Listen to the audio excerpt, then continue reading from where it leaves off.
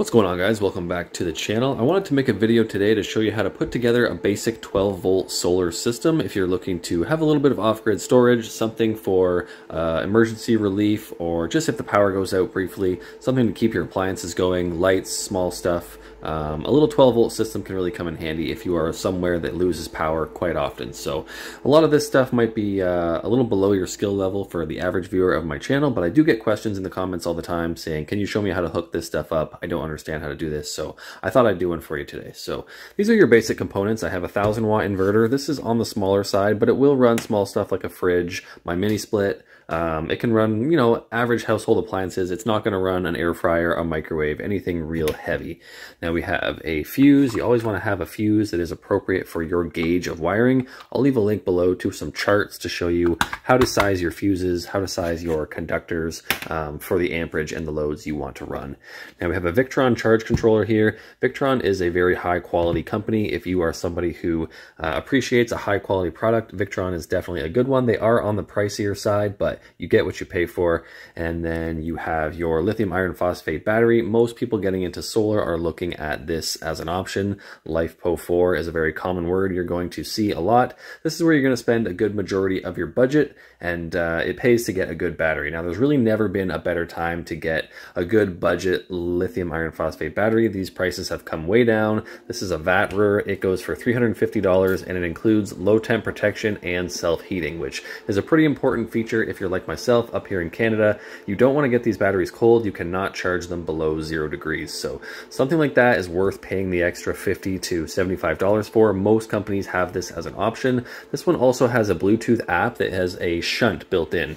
Now a shunt is something like this right here. This measures current in and out of the battery, tells you exactly how much power you have left in your system.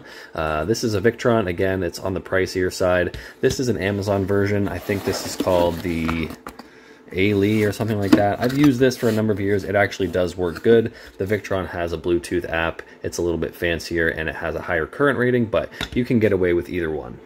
Over here we have a couple cables that will make your life easier. This we are going to use to tie the fuse into the circuit. These are called XT90 connectors. You can use these in a number of different ways just to make your life easier. You can have one uh, for your solar panel. You can wire one of these up to your solar connectors. These are called MC4s. These are a very common solar panel connector. Most commercial grade solar panels will use this style of connector. So uh, just a couple cables to be familiar with. You can do it with just standard wiring, but sometimes these do make life easier and they're worth having around.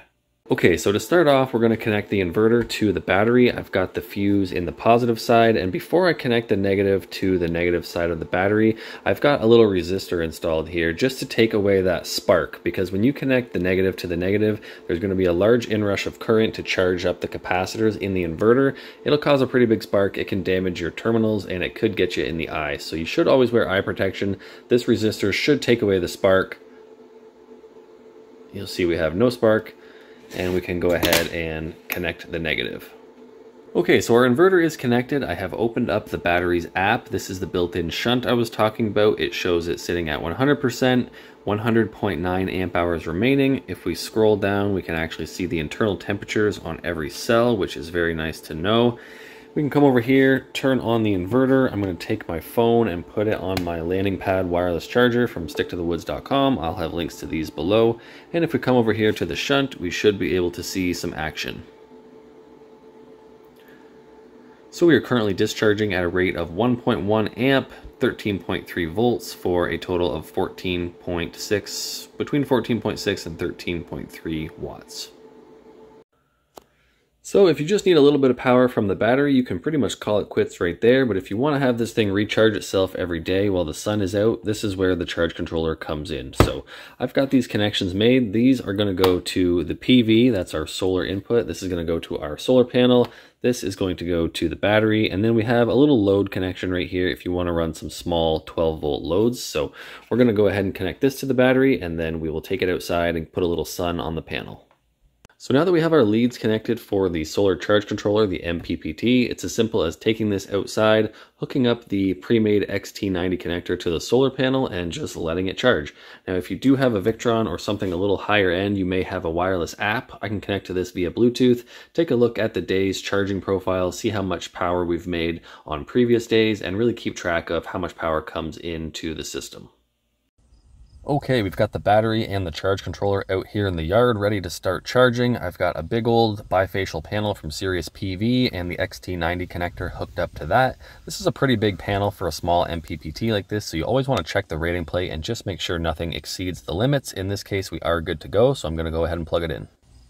Our battery is now charging, so we're going to leave it out here in the yard for a couple hours, let it get topped up, and then we'll take it inside and do a bit of a capacity test. I'll pop the app up on screen, and you can see we are maxing out the MPPT. It's pushing a full 20 amps into the battery at 278 watts, so that is all this charge controller can handle, but it is within the limits. It's not going to hurt it to do that.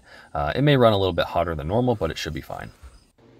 Okay, so our battery is fully topped off. I've got it back in the shop here, and I have the Victron shunt hooked up. We are going to run a capacity test on this battery. Anytime you buy a battery, you want to make sure you get what you paid for. So we are going to verify we get a full 100 amp hours pulled from this battery. This shunt will tell us exactly how much power we produce over this test. So I'm going to plug in some lighting and other loads in the garage, let it run for a couple hours, and we'll keep an eye on it. So we're pulling right around 300 watts. That gives us an estimated runtime of about four hours. I am going to come out here periodically and put the heat gun on just for some extra load and we'll see how it does. All right, test is going well. I've got the heat gun running now. Going to put a pretty heavy load on this thing for the last 20%. You can see we're pulling over a thousand watts, right around the 100 amp hour mark, which is the rated maximum current discharge for this battery. So it'll be a good test. We'll keep an eye on it. All right, we're coming down to the last couple amp hours on the battery sitting at 2%. I like to shut the heat gun off when we get this low because if the voltage dips too low, the test will stop prematurely. The inverter shuts off at 10.8 volts. So for the last little bit, we're just gonna pull 300 watts. I've got the thermal camera here from HIKMICRO. Just taking a look at the temperatures. Everything's doing well. The uh, positive conductor is a little bit warm, but it's been pulling, you know, 100 amps for the last 15, 20 minutes almost. So that's normal to see a bit of heat in there. Everything is uh, within what it's rated for, so no problems here. Battery is coming up on fully discharged now. We're getting close to that 10.8 volt cutoff. So uh, we've pulled 101.2 amp hours, meaning we got our full rated capacity from the Vatrer battery. This would be considered a pass. Well, I hope if any of you guys had questions about 12 volt solar systems, this may have answered a couple of them for you. They are very simple to put together and that's one reason they are so popular. You do have to be careful with this stuff. This was my first setup just two years ago and now I have a 6000 XP powering half my house. So it does snowball, kind of gets away from you. You get a little bit addicted, but I'll put the links to all this stuff below as well as any discount codes I'm able to pass your way. The Vatrer battery seems like a pretty good value for the money. It's got some nice features. We did pull a full 100 amp hours from it. So like I said, all that will be linked below. Thanks for watching. Hope you enjoyed the video, and I'll see you next time.